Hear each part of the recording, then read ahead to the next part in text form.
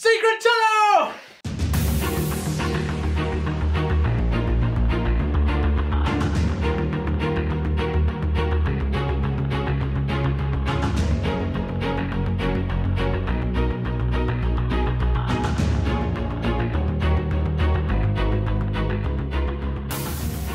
Okie dokie, part six of the secret tunnel. So yes, I am digging a tunnel from my shed here along to my house, which is just over there, and eventually into the bunker, which is at the bottom of my garden. Now in the last video, we got to about this little blue line here, but we worked out how we could push holes up to the surface for ventilation and pouring the concrete down.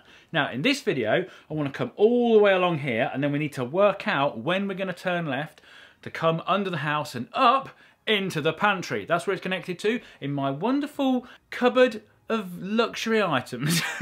so before we do this, we need to put another hole up, which I think we're going to use to kind of coordinate where we are exactly in the yard, map it all out, plan it all out, so we can do it, come up in the right place, it'll all be good. Now, this video is sponsored by Freetrade. more about them at the appropriate time in the video, but for now, let's go do a little bit more chimbling. I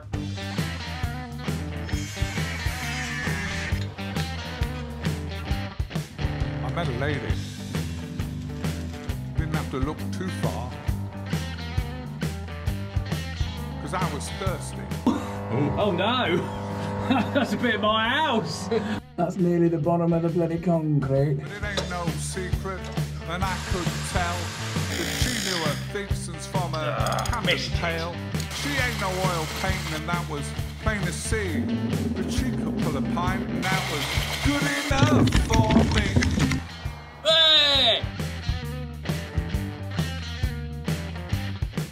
Got our ceiling supported. Now we need to find out exactly where we are before we start turning left to go into the house. We need to know when we need to turn left and also we need to know the centre of that piece of tunnel. So when we come up under the house, it is up in the right place and you end up going down, you know, to the centre of the uh, of the tunnel and not all wonky and all that sort of stuff. So what we're going to do we're going to drop a bit of box section down, clamp another bit of box section to the side of it down here and the side of it at the top so it mirrors the straight line. So if we lay it in a straight line down here, it should be in a straight line up there and then we can see exactly where we are and where we're going and how far across, up, down, whatever we need to be. That's how we're doing it.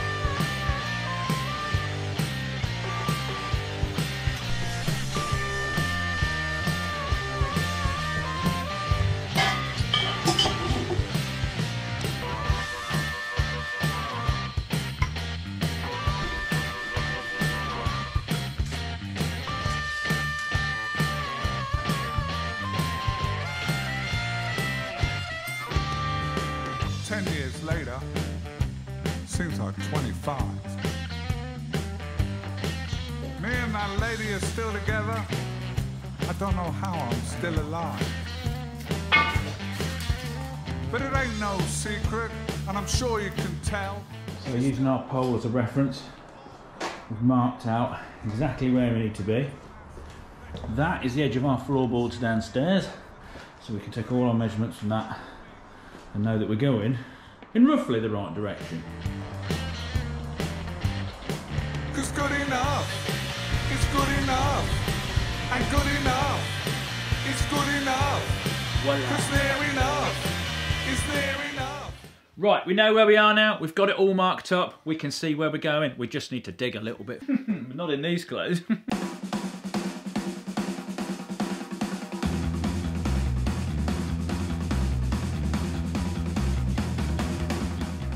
Now we just noticed one of the bucket handles is about to snap. But they're all done really well because these are the original ones from when we first started digging it.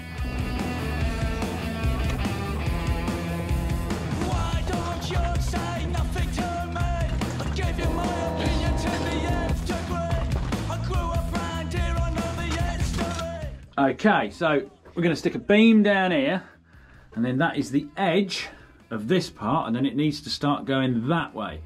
Before we do that, we've got to dig a lot more further in that direction. But of course, if we carry on at that height, when we go to go that way, that'll be too low. So we're gonna go up a bit and then across to support this part of the ceiling. If that doesn't make any sense, I will do it and then you can look at it and go, oh, that's what he meant.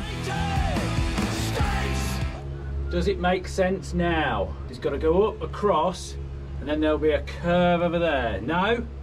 Oh well, just just keep watching. Five or six minutes. It'll all make sense. Hope is gonna pave the world. Oh, you got a lot of tidying up to do here, Furze. You got a lot of tidying up.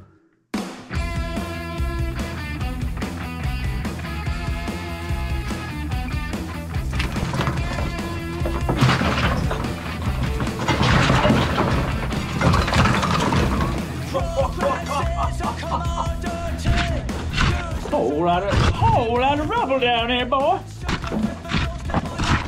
If there is ever a project that deserves a subscription or a like, it's this one. How many YouTubers do this? Chisel's nearly snapped. There we are.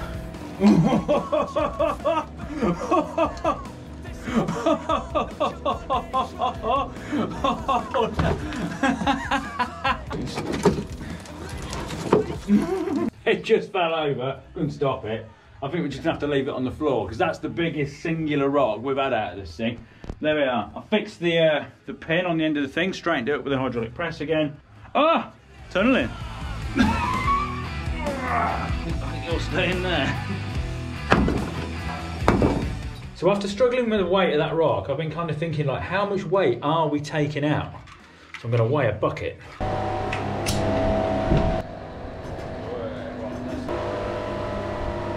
Forty-eight kilo. So that means, based on the average that we do a day, we take between three and three and a half ton out of rubble. That is that is crazy. Okay, it's all dug, it's all supported. Next up, we're going to drill another two holes, or another hole definitely, up to the surface. We've obviously got the one here in the far corner. That will fill all that side up with concrete, so it all moves forward, very nice. We won't have any air pockets or anything. I want another one here, basically, to go up there to kind of make sure that this corner definitely gets everything. Now, the only thing we need to worry about is on the back of my garage, there used to be an outside toilet, which I took down. So there is a sewer pipe and the mains water pipe running under there. So we just want to come this side of that so we don't end up puncturing that. And then over here at some point we've got the gas main to worry about, but that's for another day. So let's put another hole up at least, and then we've basically got to build all this tunnel bit steel, get it all steeled up, get it concrete up and safe. Then we can start going towards the house. I just like I like standing back here and doing this shot because it just looks, especially with the fisheye lens, it just looks wicked. My guess, probably about somewhere there.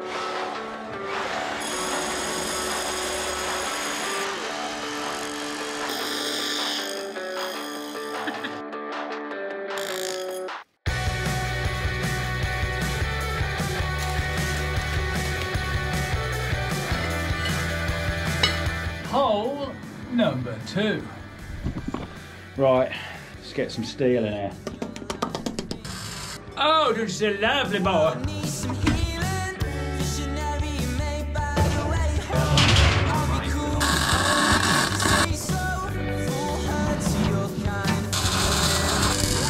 Okay, it's got the floor plates down. Next up, we're going to drop a bar down our new hole, get it all angled up with where it needs to go towards the house so we can get a centre of this bit going off here because it's not only going off at a funny angle because it's not at right angles to this, it's right angles to the house, which is a slight, a slight scunt to this. So we need to get the dead centre so we know how far to bring that wall where this one needs to stop and cut round and all, all, all that technical stuff that if we get wrong we'll end up coming up in the pantry a bit wonky. And that's no good.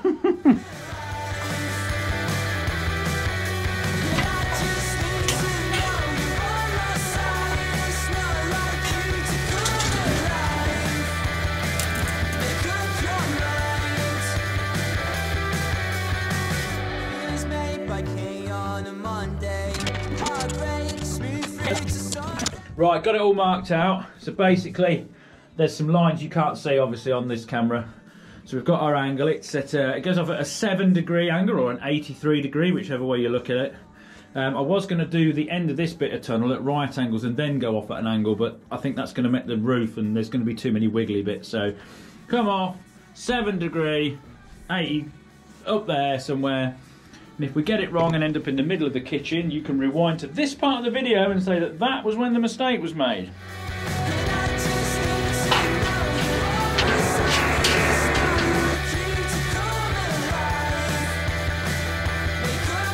Righty ho, wall up. Next bit is this end wall. Now I'm going to stick a little recessed window, a little bit like I did with the pump down the other end. So I've been on the laser cutter, laser cut myself a profile of which I can plasma cut round. So I've just got to work out exactly where it is and shove it in because we just had so much space.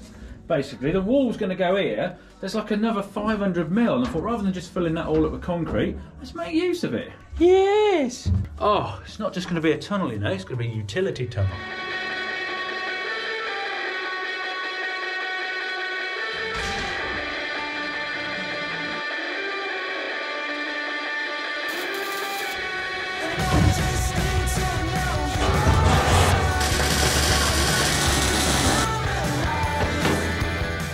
Like a little seat, look.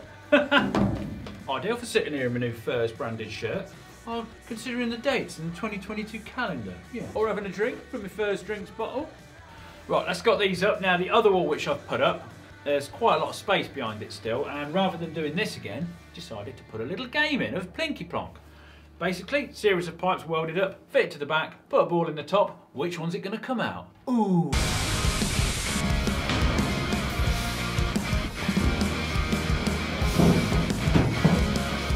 Right, it's got the old plinky plonk in. Next thing you need to work out, we need to do this funny roof junctiony thing. We're going to whack it up, stick a laser level line across, draw it, take it away, cut it, put the other bit across, laser, mark it, cut it, hopefully put them back on and they'll meet up. I'm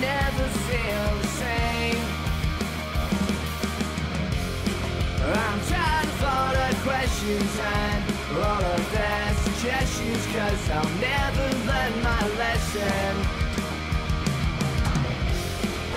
And I don't wanna lose you But I think this time I'll have to end I want to get past you. If I want to get past you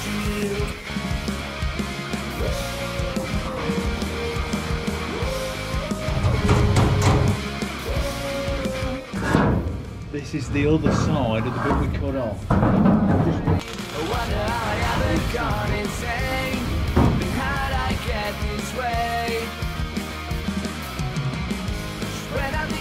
Right, that's got ourselves a corner. Quite impressed with that. It's done done it all right, I think. Now then, we've got a load of mesh, which kind of makes like a boundary for the concrete, so when we pour it down, it doesn't all just bellow out the side, which of course is slightly trickier now because we're on like a funny, we're on a corner basically, not just a flat end. So right, let's get some concrete down and then we just got to finish the floor off and then that's that bit kind of done. And then before we start digging that way, I have another little idea.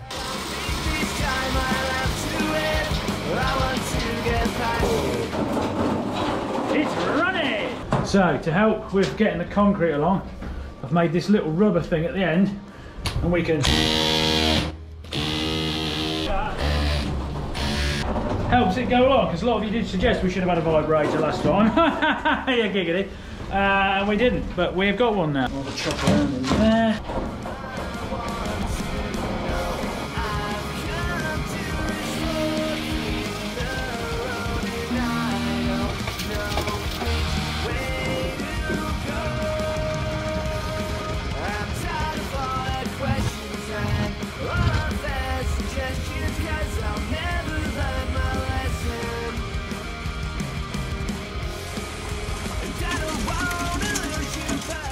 Concrete's going off, boom, nice and solid. So this is my thinking. This tunnel is now quite long and all the digging we do here, we're gonna load the buckets up. We've now got to drag them all the way along down there to winch them out. And that's quite a long distance now. So I'm thinking, we need to make a minecart system.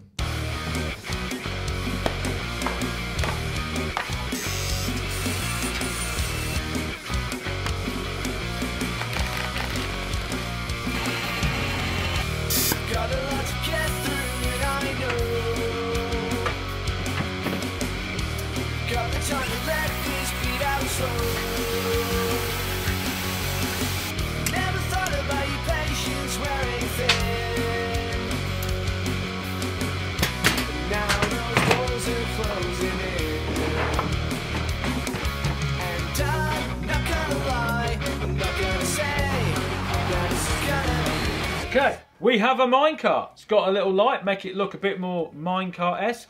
Now, it's only got two sides because we don't want to be lifting the tubs over the top of this. That's harder work. And I was going to make like a fake side that you could just slot in. But I thought, just wasting my blooming time here because it's never going to be on.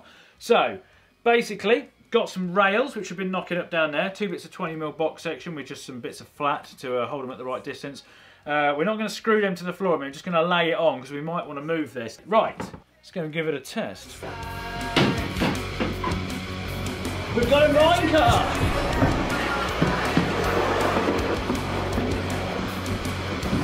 Right, I like you, so I need to test you out. Flip you around, do a bit of digging, see if you are actually going to help us. But oh, before that, the predictable, I've got a little signs on it now. So then, should you all subscribe to the Colin Furze YouTube channel? Oh yeah! Oh yeah!